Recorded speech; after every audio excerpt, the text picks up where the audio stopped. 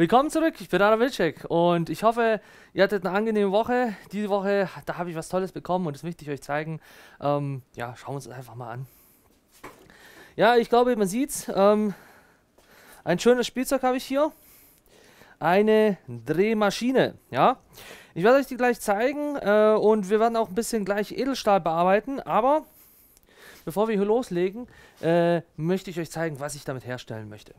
Schauen wir uns das einfach mal an, was hier, was ich mit euch machen will. Ich will dieses Bauteil hier herauspressen und neu einpressen.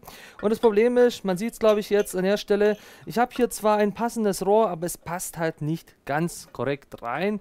Äh, es fehlen halt ein paar, ja, Hundertstel würde ich sagen. Und heute möchte ich euch einfach zeigen, wie ich dieses Rohr mit der Drehmaschine bearbeite. Äh, das ist ein Edelstahlrohr. Und äh, dementsprechend können wir dann diese Hülse aus und später wieder einpressen. Ja, dann fangen wir gleich mal an und ich werde euch auch so ein bisschen über so eine Drehmaschine ein paar Sachen erzählen. Ähm, meine Drehmaschine, wie viel sie gekostet hat und und und. Schauen wir uns das Ganze mal an. Ich habe hier bei der Drehmaschine verschiedene äh, Sachen und die möchte ich, auf die alle möchte ich ein bisschen eingehen. Ich spanne jetzt erstmal das äh, Werkstück auf, das ist einfach hier dieses Bauteil ähm, und werde euch dann einfach das dementsprechend erzählen, äh, wie das Ganze funktioniert. So, ich spanne das Ganze jetzt hier nicht bis zum Anschlag an, das ist wichtig, denn ähm, vermutlich ist das Rohr hier nicht rund. Und das schauen wir uns einfach mal an. Und ich werde es jetzt einfach mal vermessen.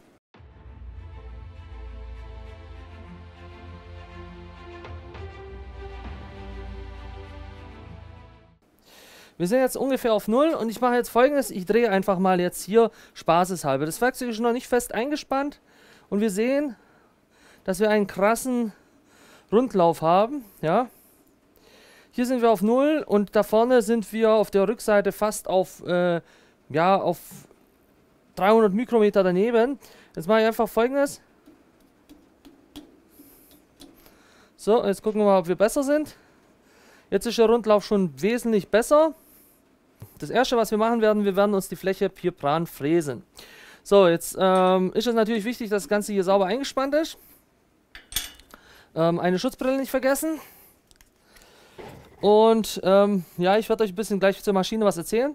Wir haben hier mehrere Möglichkeiten äh, vorzugehen. Wir haben hier ähm, einmal den ähm, Quervorschub und einmal den Längsvorschub. Ich kann auch sehr fein hier den Längsvorschub justieren. Ähm, ich fahre jetzt einfach mal an die Stelle, wo ich denke, dass wir ungefähr hin müssen. Und dann justiere ich euch mal die Kamera neu, sodass ihr mehr sehen könnt. Es gibt verschiedene Drehmeißel, das sind jetzt Universaldrehmeißel. Ich werde mal schauen, wie sich die ganzen äh, Drehmeißel hier schlagen. Ja, Wir haben jetzt hier also Meißel, die äh, eigentlich für einen universellen Einsatz sind. Die sind jetzt nicht optimal für für den Bereich. Also ich habe jetzt mal alles so ein bisschen ausgerichtet. Wir machen mal die Maschine an. Das heißt, ich, gehe die, mache die Klappe zu und starte sie mal. Und das erste, was ich mache, ist so ein bisschen ähm, diese Flachkante planfräsen. Ja? Und da gehe ich einfach her mit minimalen Vorschub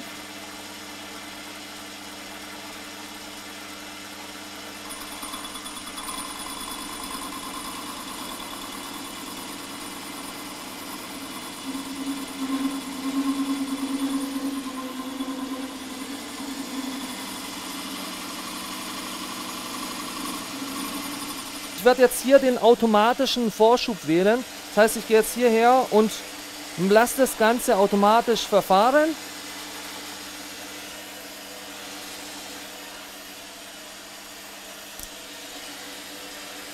Das heißt, die Maschine fährt jetzt hier vollautomatisch vor. Ähm, das könnt ihr dann steuern, indem ihr hier den Längs- oder Quervorschub wählt. Machen wir eine kleine Phase hier rein. Dass es schöner aussieht.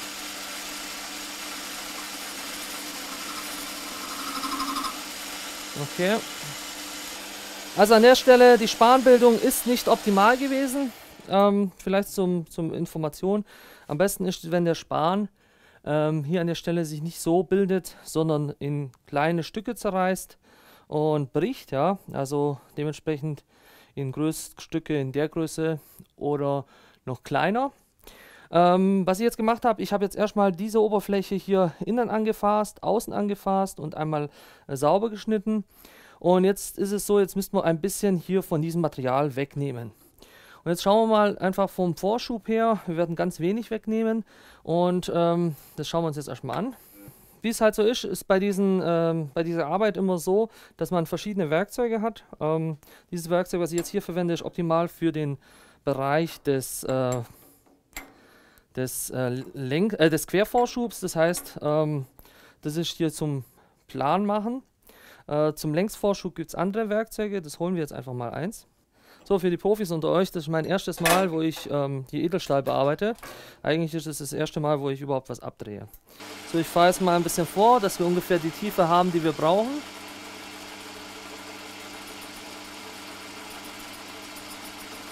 Das ist ungefähr die Tiefe, die wir brauchen. Und ich schalte meinen automatischen Vorschub ein.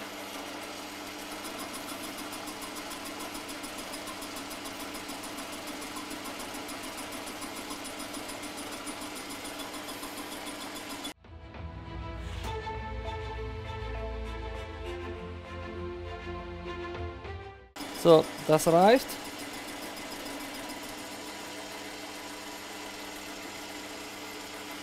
Wir können uns mal das Bild anschauen.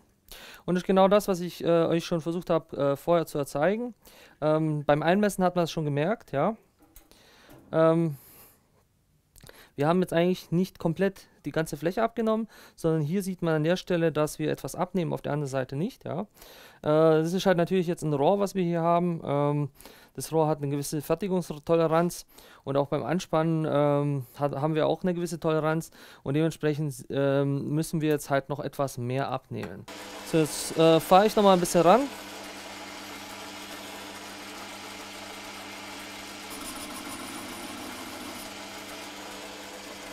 Und lassen wir das Ganze mal vorfahren.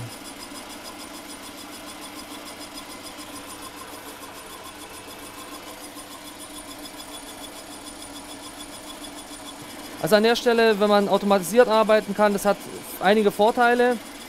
Ähm, ich fahre auch nicht zu tief ins Material rein. Die Maschine hat nicht so viel Leistung, aber für diese Anwendung, die wir hier machen, reicht es eigentlich aus. So, ich will an der Stelle einfach nicht zu viel zustellen. Ich will der Maschine jetzt nicht zu viel zumuten, das ist ja Edelstahl und eigentlich sind es die falschen Drehmeißel. Ähm, deswegen machen wir jetzt einfach hier Piano. Lieber einmal mehr als einmal zu wenig. Wir schauen uns mal nach diesem Durchgang das Ergebnis an und ähm, dementsprechend können wir mal schauen, ob wir jetzt im Maß sind, ähm, ausreichend abgenommen haben für, ähm, ja, für das Durchpressen. Also vom Ergebnis her ähm, man sieht hier die Bearbeitungsspuren. Ich versuche das euch mal zu zeigen. Aber man kann jetzt, ähm, ja, dafür, dass es der falsche Drehmeißel ist und es jetzt einfach mal schön gefertigt ist, ähm, ist das eigentlich ganz gut, finde ich. Ähm, was ich jetzt hier an der Stelle noch erwähnen will, ist, ähm, was vielleicht euch auffällt, äh, was ihr nicht sehen könnt, ist, das Ding ist ganz schön heiß. Ja? Also man würde sagen, gute, ja, gute 40, 50 Grad heiß, ja. Also noch eine, ein paar Runden und dann ähm, kann man das wahrscheinlich nicht mehr so einfach anfassen. Noch eine Runde und dann können wir mal testen, ob wir ähm, hier an der Stelle ausreichend tief genug sind.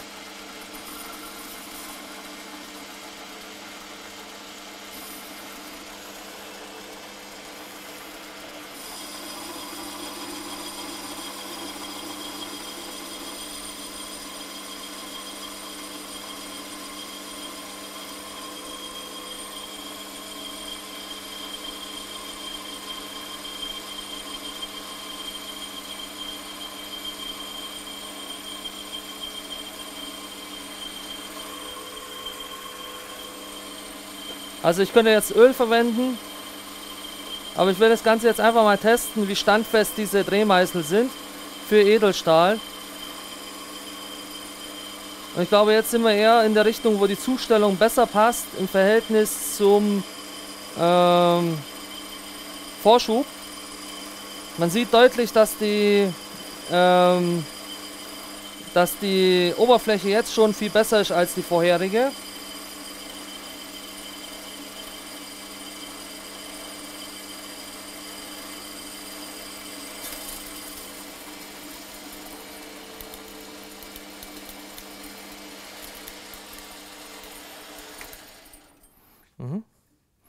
Ist halt alles Erfahrungswerte. Ähm, so, jetzt fahren wir mal raus.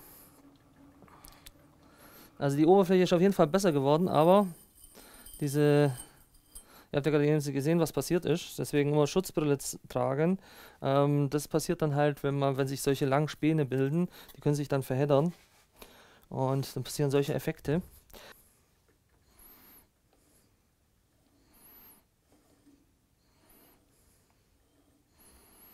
Also ihr seht, wir haben jetzt ungefähr ein Spiel von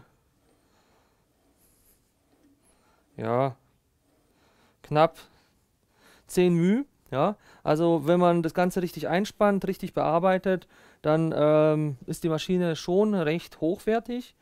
Ähm, hat aber auch 2000 Euro gekostet, die Maschine. Ja. Ich tue euch mal einen Link unten rein. Ich glaube, jetzt reicht die Hülse von der Größe her. Ja, und jetzt stecken wir das Ganze mal hier rein. Und man sieht, ich habe zwar ein bisschen Spiel, aber das, ich würde immer ein bisschen Spiel lassen. Und man sieht deutlich, jetzt ist es optimal. So, jetzt fahre ich hier vorsichtig hinein.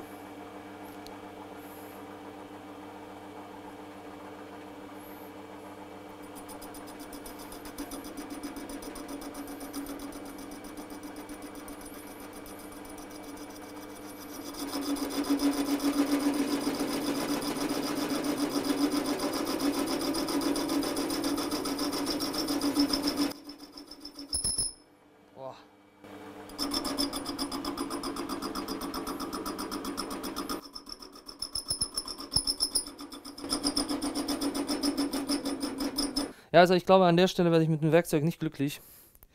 Ähm, Woran es liegt, es kann sein, ähm, ich habe hier so ein Standard-Spannsystem, äh, da muss ich die Höhe sehr, Höhe sehr variieren.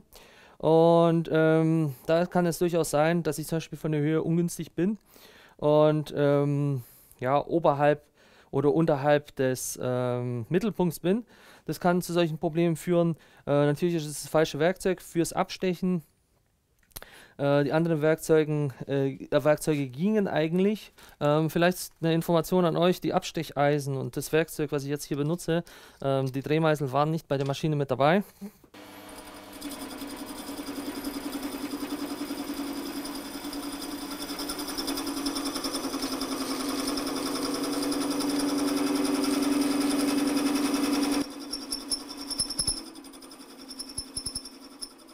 So, also für mich äh, klingt das oder fühlt, fühlt sich das Ganze nicht so optimal an. Wir haben jetzt hier schätzungsweise ähm, ja, 100 μ abgetragen. So, an der Stelle habe ich für euch alles vorbereitet. Ähm, wichtig ist, dass wir hier natürlich innen sitzen, ja, und ähm, unten das Ganze sauber auflegt, ja. Und jetzt pressen wir das Ganze mal raus.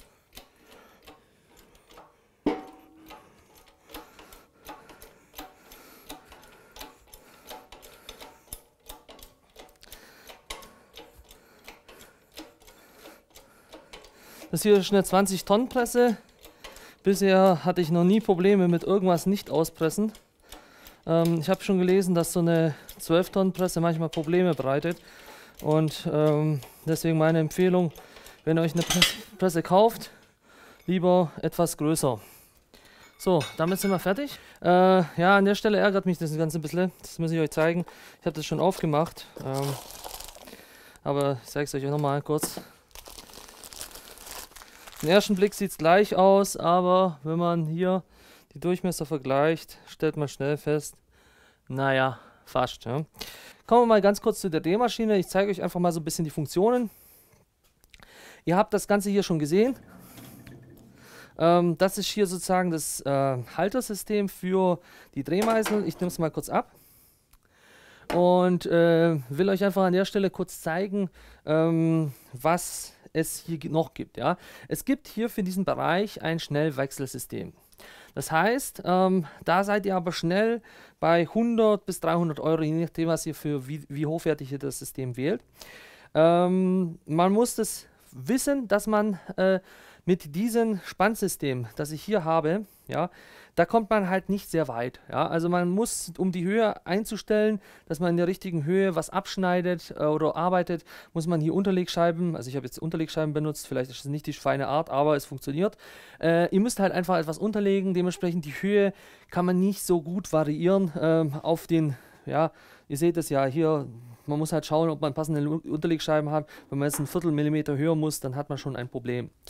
Ähm, das ist also hier etwas schwierig. Ja? Deswegen, also ein Schnellwachs Schnellspannsystem ist eigentlich fast fällig. Kommen wir mal zu den ganzen Hebeln und, und ähm, Kreisen. Ähm, hier haben wir den Längsvorschub. Ähm, das ist dann sozusagen, äh, um die Maschine in dieser Richtung zu justieren. Hier haben wir den ähm, Quervorschub, das heißt, ähm, hier können wir die Höhe variieren. Längsvorschub genauer geht dann nochmal hier zusätzlich, wenn man wirklich ganz, ganz genau und fein ähm, irgendwas vorarbeiten müsste, möchte. Ich mache mal die Maschine kurz an. An der Maschine haben wir die Möglichkeit, die Drehzahl zu justieren.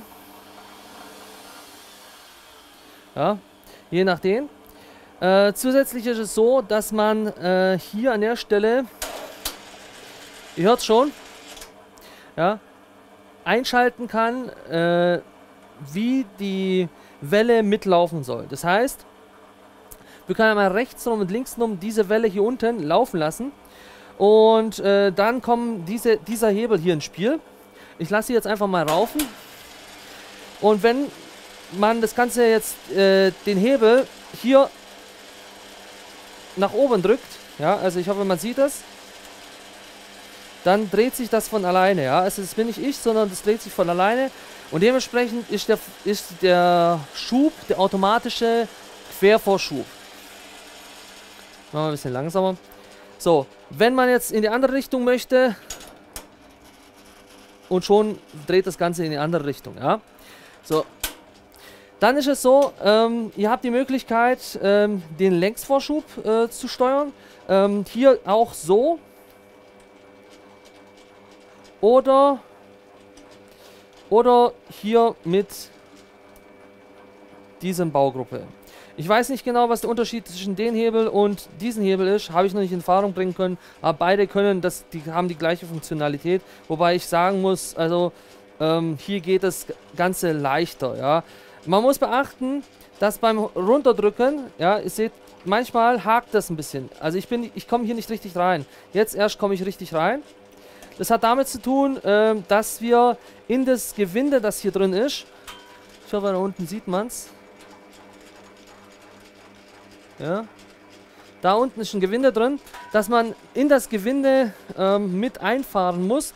Und das heißt, äh, wenn ich jetzt hergehe und hier reindrücke, also hochfahre, dann muss es halt einrasten in das Gewinde drin. Und wenn es halt Zahnflanke auf Zahnflanke ist, kann ich hier nicht richtig einrasten. Ja? Das ist sozusagen eine Baustelle. Dann haben wir hier verschiedene ähm, Schalterstufen. Diese sind eigentlich gedacht, um den ähm, Vorschub zu ändern. Man hat dann jeweils drei Stufen plus ABC und das Ganze kann man hier an der Tabelle ablesen. So, ich mache die Maschine mal, mal kurz aus. Wir können auch an der Maschine rückwärts fahren. Also umgekehrt fahren und schon fahren wir umgekehrt. Also beides ist möglich, ja. Ähm, und jetzt fahren wir wieder andersrum. Zusätzlich ähm, ist es so, dass äh, man hier hinten aufmachen kann und die Zahnräder austauschen kann. Ja? Dementsprechend äh, über die Zahnradverbindung, es gibt eine Anleitung, welche Zahnräder man verwenden kann und dementsprechend kommt man dann hier auf den Tabellen auf, andere, auf, auf ein anderes Muster und anderes Übersetzungsverhältnis. dementsprechend dreht sich diese Zahnstange äh, oder Trapezgewinde ähm, anders, schneller oder langsamer, je nach Übersetzungsverhältnis und kann man dementsprechend äh, kann man ähm, dann auch die Bauteile, den Vorschub steuern und wenn man Gewinde dreht, andere Gewindegrößen drehen. Ja, ähm, zu den, was ich mir zusätzlich gekauft habe, ist einmal so ein Drehmeißel-Set, ja, so sieht das Ganze hier aus. Ähm, da sind verschiedene Meißel dabei. Ähm, einmal hier, den wir ja schon benutzt haben zum Abstechen, der nicht so gut funktioniert hatte. Ähm, für Außengewinde schneiden, für Innengewinde schneiden, ähm, was auch immer, ja. Für Längsdrehen, Plandrehen, das, man muss ein bisschen damit experimentieren und Übung gewinnen, ja. Ähm, das war nicht dabei, also das musste ich mir separat kaufen. Was ich mir auch noch separat geholt habe, ist ähm, einmal hier ein Spannfutter, ja. Das werde ich dann verwenden die nächsten Tage. Verschiedene Spanngrößen. Äh, aus China natürlich, ist doch klar. Und äh, ich werde mal schauen, wie, Rundlauf, wie gut der Rundlauf ist und und und. Also, dabei war, war dieses drei Backenfutter. Dann waren zwei Lafetten dabei, ja. Die habe ich jetzt nicht verwendet, weil ich noch nicht so lange es gedreht habe. Ein vier Backenfutter war dabei. Ähm, irgendwelche Spannhülsen, also Spannstifte. Äh, Zahnräder sind ein paar dabei. Nochmal ein paar Backen und ein bisschen Werkzeug. Hier hinten haben wir noch die Möglichkeit, äh, wenn wir längere Werkstücke zu be benutzen, da sieht man, ähm, ich kann das Ganze hier ausfahren äh, und dementsprechend kann ich mir verschiedene Spannfutter einsetzen, einbauen. Ja. An der Stelle bin ich eigentlich schon fast am Ende meines Videos angekommen. Ähm, vielleicht noch zum Aufbau ganz kurz. Ich habe das Ganze von da hinten am Auto vorbei hierher geschleift äh, mit einer Rollunterlage alleine.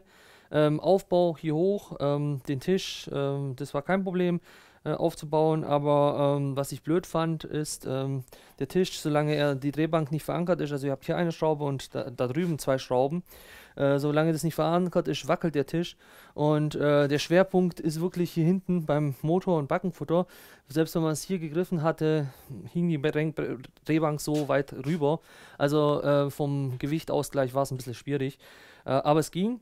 Ähm, prinzipiell wiegt die ganze Bank ungefähr 200 Kilo. Also ihr müsst, äh, ihr könnt es nicht alleine lupfen. Ja, ihr braucht einen Motorkran oder drei oder vier starke Männer, ähm, denn äh, wenn die euch auf die Füße fällt, dann tut es wirklich weh. Ja, und das war so die kleine Einführung meiner Drehbank. In den nächsten Videos werde ich sie verwenden und ich hoffe, ähm, das Video hat euch auch gefallen. Wenn ihr Fragen oder irgendwelche Anregungen habt, natürlich, wenn ich irgendwas besser machen könnte, sollte, schreibt es mir auch gerne unten rein. Und falls das jemand interessiert, die Drehbank, wo ich sie gekauft habe, hier unten findet ihr in der, in der Infobox den Link dazu. Und damit schließe ich für heute ab und äh, bedanke mich. Ich bin Anna Wilczek von MechTU. Schalte wieder ein nächste Woche, wenn es weitergeht. Bis zum nächsten Mal. Bis dann. Ciao, ciao.